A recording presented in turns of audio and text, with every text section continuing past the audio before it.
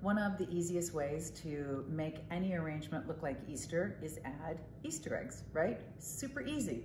Easter eggs are a very, very specific look. You're not gonna see them at Christmas. They're not gonna be around 4th of July, right? We all know what Easter eggs look like.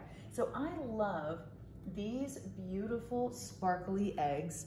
Look at how soft the colors are. They're really lightweight and pretty. You can scatter them around. You can fill them with in you know any of these glass jars.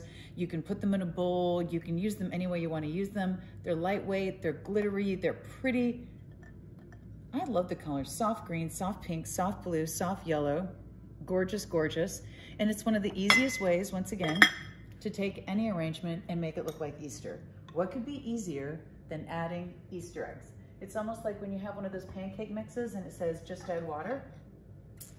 It's an Easter mix that says just add Easter eggs. It could not be easier.